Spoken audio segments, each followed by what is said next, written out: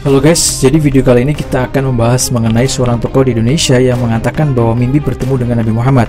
Ya walaupun sebenarnya agak terlambat sih, tapi menurut saya nggak apa-apa kali ya.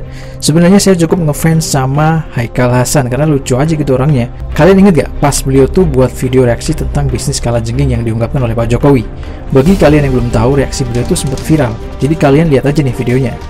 Yang mesti dikumpulin 18 juta 600 ribu ekor berapa ratus tahun ya nggak ada keburu mampus gue Oke guys, saya kira cukup ya untuk intermezzo di pembukaan video kali ini. Dan info aja bagi kamu yang baru bergabung, welcome. Ke depannya kita akan membahas keunikan seluruh toko di Indonesia bahkan di dunia.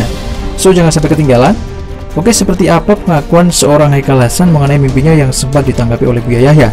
Dan siapakah beliau sebenarnya ini? Oke, ini dia.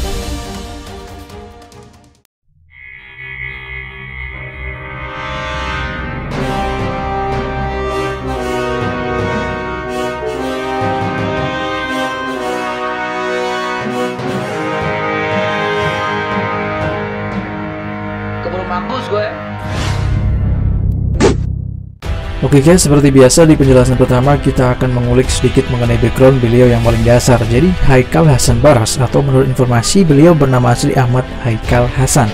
Lahir di Jakarta 21 Oktober 1968 adalah momen kelahiran Haikal Hasan ke dunia. Dan jika dihitung sekarang umurnya kurang lebih 52 tahun. Di internet saya lihat personal branding beliau ini adalah seorang berdakwah, konsultan, motivator dan pembicara publik. Kalau dilihat dari wajahnya memang ada ketimur tengahan yang menunjukkan keturunan Arab Indonesia. Berdasarkan data yang diperoleh bahwa Haikal Hasan mulai dikenal luas itu setelah menjadi aktivis dalam aksi 2 Desember 2016. Fun fact-nya, ternyata beliau ini lulusan Master Teknik Informatika dari University of Perth, Australia. Lebih ngerinya lagi, beliau punya nama panjang yaitu Ahmad Haikal Hasan bin Umar bin Saleh bin Ali bin Syekh bin Ali bin Abdullah Baras. Mungkin itu aja untuk pembahasan seru beluk siapakah Haikal Hasan. Oke, kita lanjut.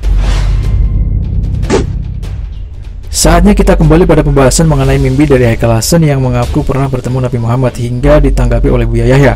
Buya mengatakan bahwa setidaknya ada tiga kabar gembira bagi mereka yang bertemu Rasulullah di alam mimpi.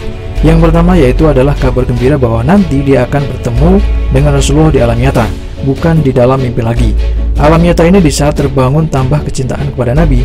Kedua, ulama mengatakan tidak akan mati kecuali jika melihat langsung Rasulullah di saat menjelang ajalnya. Dan yang ketiga adalah ulama banyak mengatakan dia akan bertemu Rasulullah di surga nanti.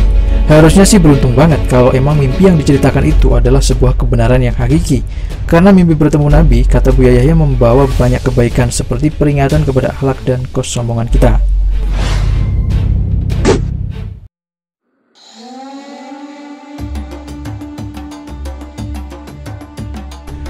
Nah, sebenarnya saya sendiri punya pertanyaan sih, gimana kita bisa tahu bahwa yang ada di dalam mimpi tersebut adalah benar-benar Rasulullah? Meskipun Bu Yahya mengatakan ada sebuah hadis yang menegaskan bahwa siapa pun tidak bisa menyerupai Rasulullah, even itu di dalam sebuah mimpi. Nah, maksud saya adalah apakah Rasulullah mengakui dirinya dan berbicara kepada orang yang ditemuinya di dalam mimpi tersebut? Atau hanya melihat seseorang yang perilakunya persis seperti Rasulullah sebagaimana dalam berbagai riwayat hadis? Ibaratnya gini, kalau saya mimpi bertemu Pak Jokowi, setelah bangun saya pasti sadar dong karena saya mengenali betul wajah Pak Jokowi dan juga perilakunya. Sedangkan Nabi Muhammad, kita ingin mengilustrasikan wajah beliau aja nggak boleh kan setahu saya. Jadi mungkin ini ada tingkatan tertentu yang saya juga belum bisa menjangkaunya. Bukan berarti saya tidak percaya pada orang yang mimpi bertemu Rasulullah, namun mimpi itu dikatakan Bu Yahya sebagai kabar yang sangat menggembirakan sebagaimana kisah seseorang yang mimpi bertemu Rasulullah pada saat bangun langsung menyedekahkan separuh dari seluruh hartanya. Jadi bagi kalian yang lebih mengetahui tolong beritahu saya di kolom komentar.